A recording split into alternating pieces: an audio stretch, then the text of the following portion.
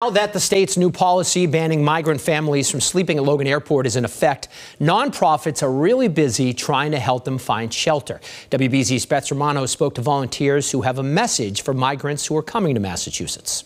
I said to the governor's office, please reach out to me if you need any help with um, transitioning families.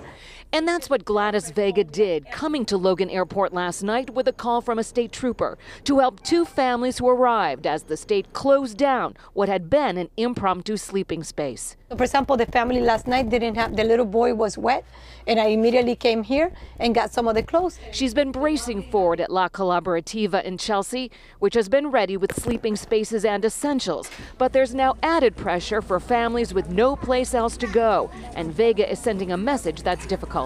If you don't have a plan, if you don't have a family member that awaits you, if you don't have a job that is waiting for you, Massachusetts is not the right place to come anymore. And that's difficult uh, for you to say. Of course it is. Vega calls it a humanitarian crisis with the state's shelters at capacity.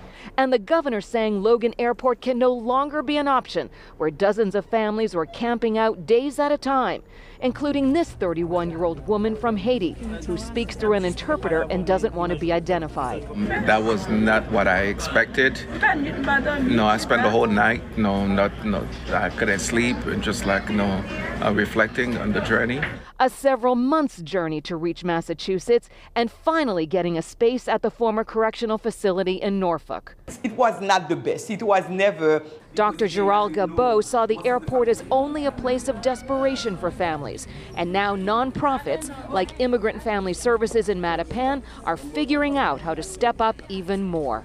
Yes, it's challenging. Yes, it's difficult. But does that mean that we have to close all doors?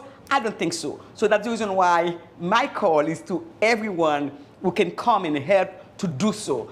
The organizations say they expect more migrant families will be showing up at their doorsteps when they arrive here and find this section of Terminal E is no longer accessible as an overnight sleeping space.